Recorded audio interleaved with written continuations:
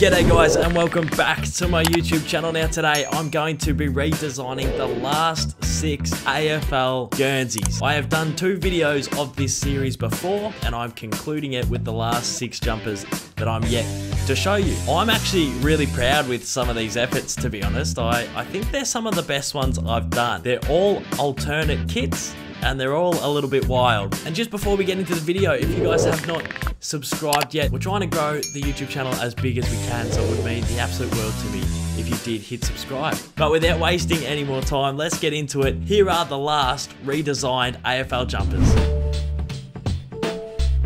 Now this one I'm kicking it off with is a little bit controversial to be honest. I thought if Port Adelaide can steal Collingwood colours, why can't Collingwood steal Port Adelaide colours? I'm obviously joking Port fans, please don't get triggered. Even though you guys started it, you threw my scarf into the River Torrens. I was thinking about designing a Collingwood training Guernsey. I think the most obvious thing to start off with with a Collingwood Guernsey is the swooping magpie. Everyone loves it. It's everyone's favourite. And because it's a training Guernsey, I was thinking of something quite flashy. So I initially put pink uh, where the teal was and then I put yellow where the teal was as a bit of a flashy sort of training kit. And then I put teal on the sides and on the collar and it worked better than all the others. I know it sort of seems like a little bit of a dig at Port Adelaide, but I think it genuinely looks the best out of all the flashy colors that I use. I then got a little bit of zebra pattern and I put it on the jumper and then I lowered the opacity so it was a little bit more subtle. But yes, that is my Collingwood training Guernsey. Let me know in the comments down below if you rate it or you hate it.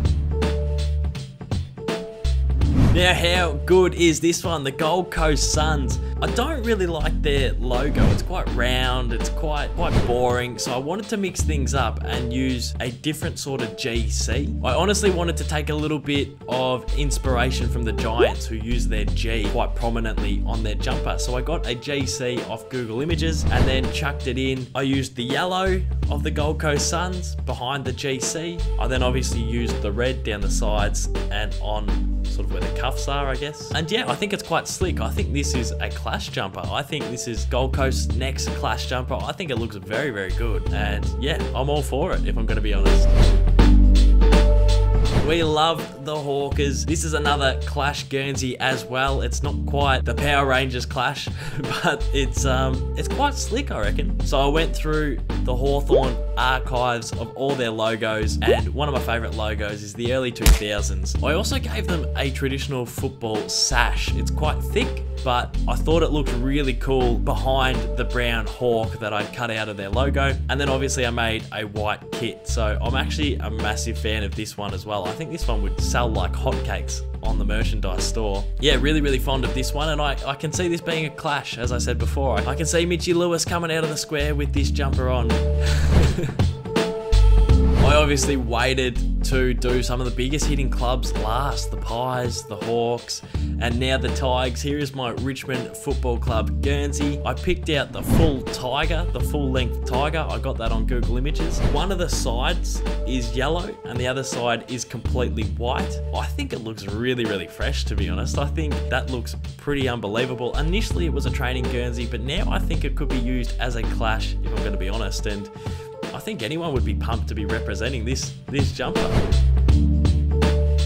Now this Saints one I think is absolutely a clash jumper. I was playing around with it for a long, long time. The Saints have incorporated the yellow in a lot of their Guernseys and I like when teams mix things up completely and chuck in a random colour. There's probably a bit of a backstory to why the Saints use yellow often, but I wanted to get in on, on the yellow action. Looking at this jumper right now, it looks familiar. So I tried to look up Saints Clash jumpers and I don't think I saw anything quite like this one, but there have been similar ones where they do have the yellow cross and it's quite thick line. So I don't know, it feels really familiar, but I think I could see the Saints using it as a Clash jumper. I could see some of the boys running around Marvel Stadium with this jumper on for certain.